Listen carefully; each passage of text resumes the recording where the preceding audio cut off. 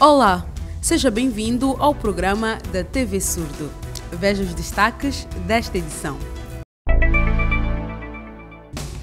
O Hospital Central de Maputo introduz sala de aulas para crianças internadas.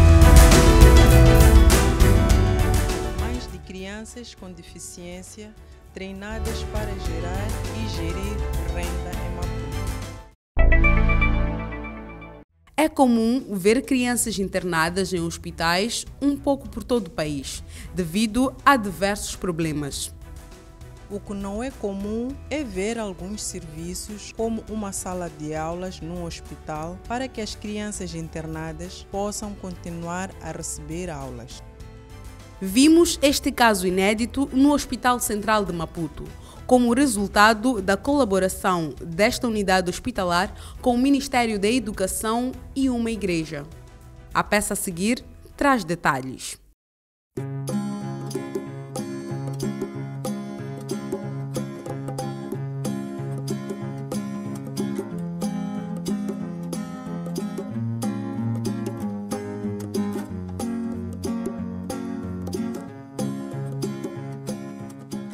Há quanto tempo está aqui no Estado Central?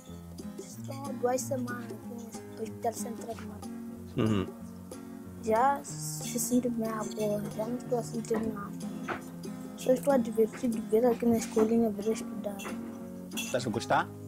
Sim, Aprendeste o que é neste período de estás aqui na, na, nesta escolinha? matemática, Hum, português, hum, visual, hum. E, e Xexaia? Estás estás- estás em que classe? sexta, Sexta classe. sim. E quando voltar lá, vais continuar a ir para a escola, não é isso?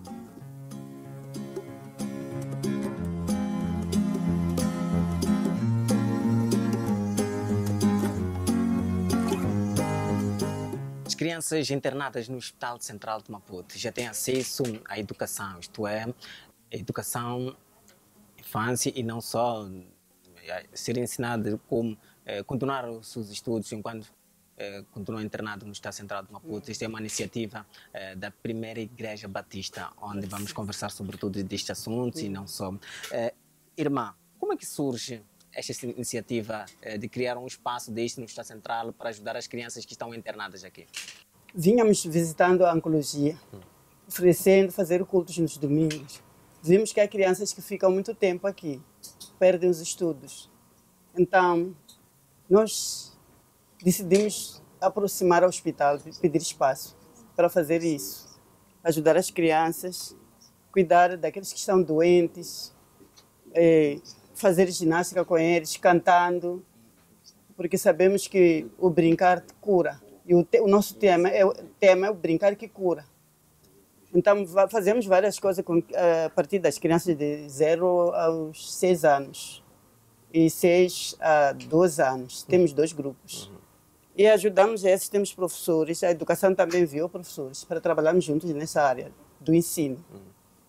E prometeram que se alguém chegar no fim do ano, fazer, fazerem exame lá fora, enquanto ele está aqui, a educação vai fornecer o exame. Então enviarão tudo para a escola lá, ter o conhecimento que já fez exame, para não ficar atrasado. Estando aqui, já há um ganho das crianças, eh, além de Ah, estar ah. internado, aprendem Muitas também. Aprendem. Muitas vezes eu, eu trabalho com crianças, somos duas. As crianças podem vir ali assim, com aquele eh, clima de estar no hospital, Uhum. estar na cama, passam sempre enfermeiro com bata branca, injeção. Então, quando começamos a cantar, tocar eh, chocado, cantar aquelas canções, começa a animar um pouco. Exato. Então esquece que está doente. Também é uma, uma, uma terapia. É, é uma terapia. É. Nós só conhecíamos, mas agora conhecemos porque vimos que dá resultado, bom resultado. Nós também ganhamos por ver as crianças a recuperar. Quando ganham alta, mas uh, rápido, nós nos sentimos orgulhosos por isso, porque nós também participamos com o hospital. Professor Cristote, eh, como que tem olhado esta, esta iniciativa da, da Igreja eh, de ajudar a educação, também a Igreja e o Estado Central de Maputo estão cá para ajudar um pouco das crianças internadas aqui, Aliás, eh, além de estarem aqui também aprendem um pouco para não deixar o tempo sem de, deixar de, de, aprender. Como é que tem olhado esse projeto? Nós fazemos parte, em número de três é, docentes. É, somos pertencentes à Escola Primária Completa 3 de Fevereiro. Então, nesse âmbito, nós estamos a convite aqui, é, tanto do Ministério da Educação, assim como parceria com a Igreja Batista, onde em conjunto estamos aqui é, para é, podermos ajudar as crianças aqui internadas que padecem de várias doenças, sem nenhuma exclusão, independentemente do tipo de, de, de, de doença que cada criança aqui padece. Estamos exatamente é, objetivos e com toda a energia para apoiá-las, não é? é? Nesta casinha, conforme estão a ver, recheada de livros, todos brinquedos. E nesse âmbito, aqui trabalhamos é, com crianças de vários níveis, da primeira, aliás, primeiro é o nível infantil, que é a educação de infância, uhum. e da primeira, segunda até sétima classe. Uhum. Então, neste momento, temos observado um ganho, dado que as crianças estão aqui a, a, a colaborar conosco e, para além disso, elas não se acham sós, não é? Não estão isoladas, estão, é, estão numa conjuntura de, de, de, de, de amizades. Nós criamos um ambiente tranquilo, onde elas estudam, desenham, eh, contam histórias e, na verdade, extraem um ganho para a sociedade. E aprender também é uma terapia para essas crianças, além de estar na cama, aprender? Ob obviamente, obviamente. À medida que a criança vai interagindo com os bonecos, com os livros, vai esquecendo daquilo que é a tristeza que ele trouxe aqui neste setor. Suponhamos que haja uma criança uh, com um exame, não é? Está internada. Uma criança da quinta ou sétima classe que Sim. tem exame. Uh, neste período, a criança está internada no Estado Central. Como é que seria a avaliação do exame desta criança? Exatamente. Esta é a nossa perspectiva. É o, é o nosso sonho que ainda não atingimos. Uhum. Ainda estamos numa fase piloto e estamos a estudar como é que podemos fazer. Esta acaba sendo mais uma sala do, da escola 3 de fevereiro e os professores que estão cá pertencem a essa escola e vamos coordenando para que as crianças primeiro façam o teste de acordo com as capacidades de saúde também da criança e depois fazer um teste que vai dar alguma nota, alguma informação pedagógica para que a criança, quando tiver alta do hospital, saia também com um relatório pedagógico para entregar à sua escola de proveniência uhum. e assim não perder o ano letivo. Exato. Foi assim que nós hoje fizemos mais vida na, no Hospital Central de Maputo, concretamente numa das salas anexa da Escola 3 de Fevereiro. Aliás, aqui os professores dessa escola vêm para dar uh, continuidade das, uh, das, aulas das crianças que estão internadas aqui. Essa é uma iniciativa uh, do Ministério da Educação, do Estado Central de Maputo e da primeira Igreja Batista que estão a orientar as crianças aqui que estão internadas na pediatria do Estado Central de Maputo. Foi bom ter deste lado. Nós voltamos daqui a sete dias. Até lá.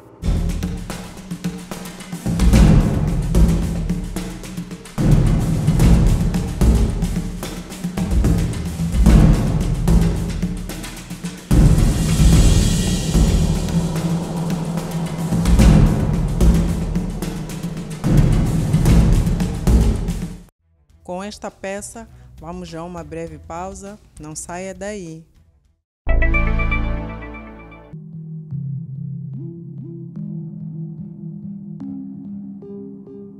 Os passageiros com deficiência podem precisar de apoio adicional para entrar e sair da viatura. Para apoiar um passageiro com deficiência, o cobrador ou outra pessoa de apoio devem primeiro perguntar se o mesmo precisa de apoio só depois, em caso de resposta positiva, seguir os seguintes métodos: passageiros com deficiência física motora, desinfetar todas as zonas de apoio da cadeira de rodas canadiana ou outro meio de compensação do passageiro. O apoiante e o passageiro devem desinfectar as mãos. Ambos devem usar máscara de proteção enquanto todo o processo de apoio acontece. Ao passageiro com deficiência visual, após perguntar se necessita de ajuda e desinfetar as mãos, evite apoiá-lo pelas mãos, direcione-o ao seu lugar, tocando-o pelo ombro ou segurando o seu antebraço. Para os passageiros com deficiência auditiva, cole no transporte público um cartaz com linguagem clara que indica todo o processo de desinfecção e segurança.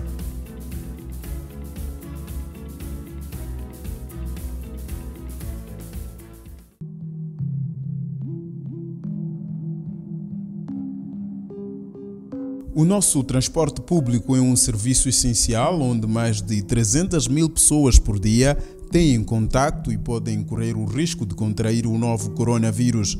As cooperativas e empresas municipais de transporte público devem tomar as medidas já anunciadas pelo governo, redobrar os cuidados de higiene individuais e coletivas e adotar outras mais específicas do ramo do transporte público de passageiros. Como medida geral, todos devem ter presente as regras básicas de higiene pessoal e coletiva, que incluem lavar as mãos na paragem ou terminal ou usar desinfetante para as mãos, cobrir a boca e o nariz com o braço dobrado em forma de V quando tossir ou expirar, ou usar toalhas de papel ou lenços individuais, evitar contactos entre pessoas, evitar tocar na cara sem lavar as mãos, viajar somente se necessário usar sempre máscara na paragem e nos transportes públicos. Porque se não fizermos isso, o Covid vai se alastrar nos autocarros e será de difícil controle. Apelamos a todos quanto viajam nos autocarros e os que trabalham nos autocarros para prevenir esta doença que está a acabar com as pessoas pelo mundo todo regras específicas para os transportadores. Os transportadores devem respeitar a lotação recomendada para cada tipo de viatura. As viaturas pequenas devem ter um máximo de 15 pessoas, sendo 3 em cada banco. Nas viaturas médias, com lotação de 26 lugares, devem estar todos sentados. Os autocarros devem levar até 70 pessoas no máximo, sendo todos os bancos ocupados. Olá! Bem-vindo de volta ao programa da TV Surdo.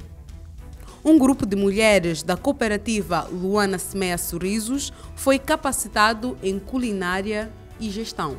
O objetivo desta capacitação é fornecer a estas mulheres bases sólidas para criar e gerir pequenos negócios com a finalidade de ajudar nas despesas de seus filhos com deficiência. Que numa primeira fase estamos a começar com um grupo pequeno de cinco mães, mas a ideia é que estas mães sejam modelo, não é? E que a partir destas mães nós possamos ter outros projetos desta, desta natureza. São perto de 60 mães de crianças com deficiência que vão beneficiar desta iniciativa, cujo objetivo principal é gerar renda para estas famílias. Sou uma das mães com crianças especiais. Estou neste lugar para aprender mais acerca dos doces, como fazer doces, salgados, para implementar mais no meu negócio.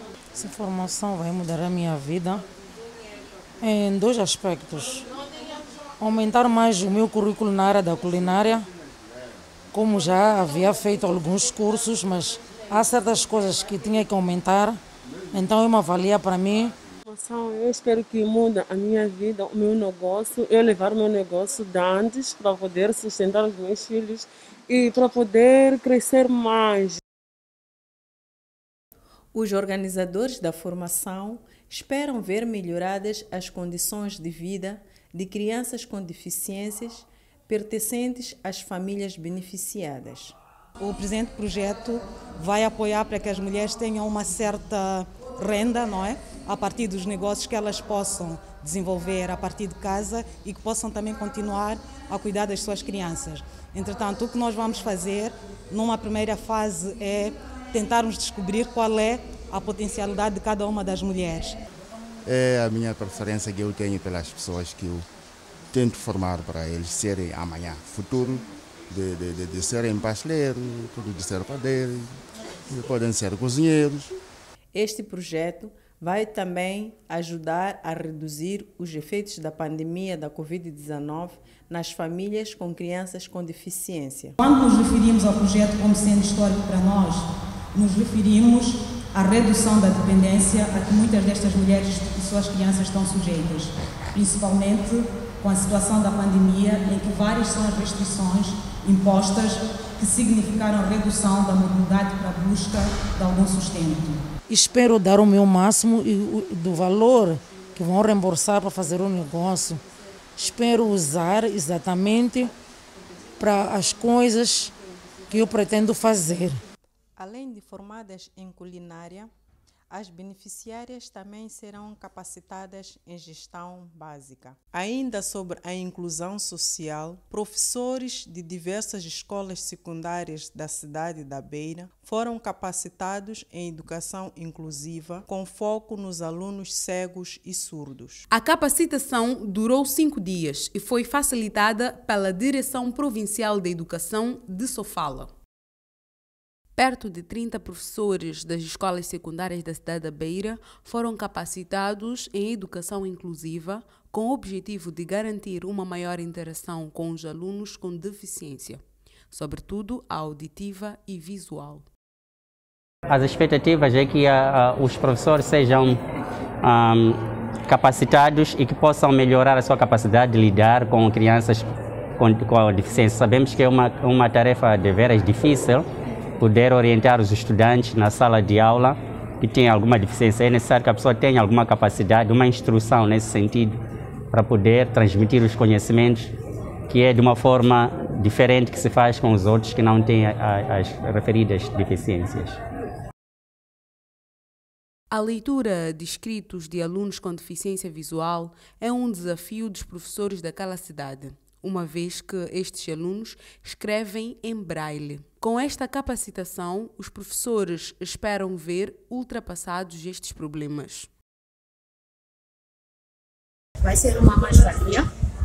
É, já tive alunos com deficiência visual e que enfrentei algumas dificuldades para poder transmitir aquilo que era uh, os conhecimentos, né, a minha aula. Então, espero com essa capacitação poder aprimorar aquilo que, que são as minhas práticas metodológicas, práticas uh, sobre como lidar com alunos com deficiência visual e não só. Esperamos que o processo de ensino-aprendizagem melhore uma vez que nas, nas ocasiões anteriores temos recorrido ao Instituto de Deficientes Visuais. Esperamos que com essa capacitação possamos nós mesmos interpretar a grafia braille dos nossos estudantes. O outro desafio é a acessibilidade para alunos com deficiência físico-motora. Os estudantes têm, têm aulas nos reios de chão, não, não no primeiro andar. Então aqui nós temos uma sala. Então, se alguém tem deficiência, não é colocado no primeiro andar. Esta é uma escola tempo colonial e os estudantes não têm que subir aqui, estudam lá nos reios de chão. Tomás Viajeiro, diretor de Educação de Sofala, destaca a importância da inclusão de alunos com deficiência. Permite a esta criança interagir, integrar-se e conviver com as outras crianças, mas por outro lado permite a outras crianças a saber lidar com aqueles colegas que têm um tipo de deficiência e ajuda essas crianças a terem um sentimento mais humano e de solidariedade. Vamos a mais uma breve pausa. Voltamos num piscar de olhos.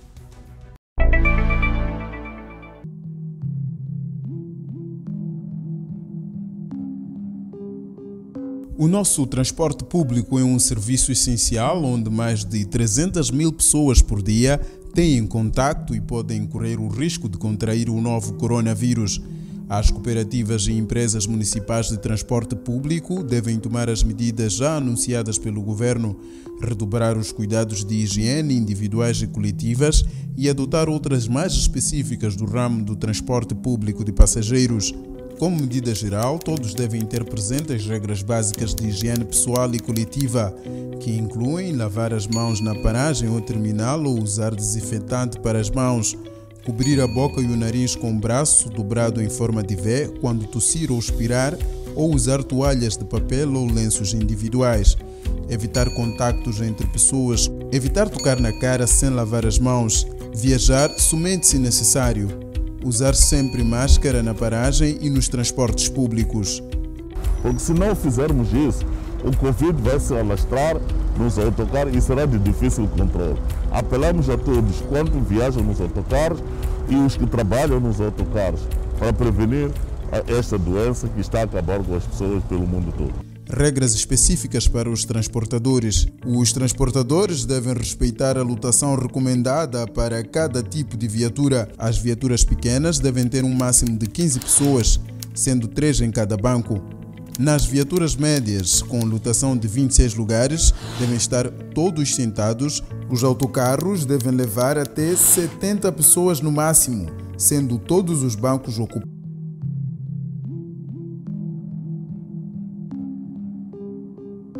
Os passageiros com deficiência podem precisar de apoio adicional para entrar e sair da viatura. Para apoiar um passageiro com deficiência, o cobrador ou outra pessoa de apoio devem primeiro perguntar se o mesmo precisa de apoio. Só depois, em caso de resposta positiva, seguir os seguintes métodos: passageiros com deficiência física motora desinfetar todas as zonas de apoio da cadeira de rodas canadiana ou outro meio de compensação do passageiro. O apoiante e o passageiro devem desinfectar as mãos. Ambos devem usar máscara de proteção enquanto todo o processo de apoio acontece. Ao passageiro com deficiência visual, após perguntar se necessita de ajuda e desinfetar as mãos, evite apoiá-lo pelas mãos, direcione-o ao seu lugar, tocando-o pelo ombro ou segurando o seu antebraço. Para os passageiros com deficiência auditiva, cole no transporte público um cartaz com linguagem clara que indica todo o processo de desinfecção e segurança.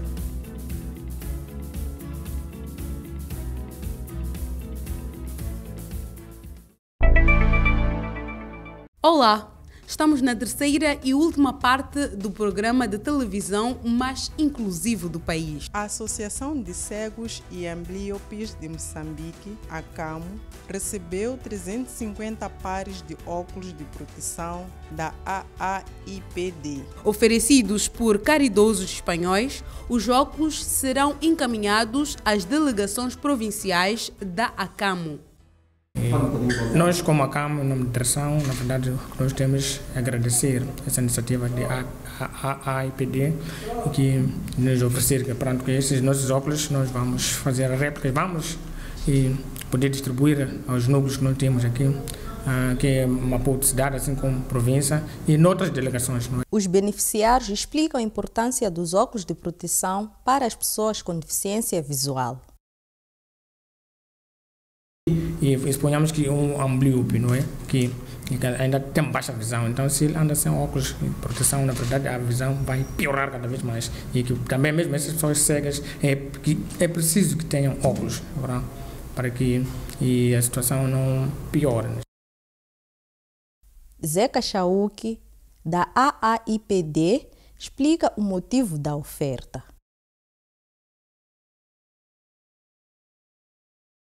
Para não queimar com sol, para não, não, poeira não entrar no, nos olhos também. Ok, na, na verdade esses óculos eles chegaram à IPD dos nossos amigos espanhóis.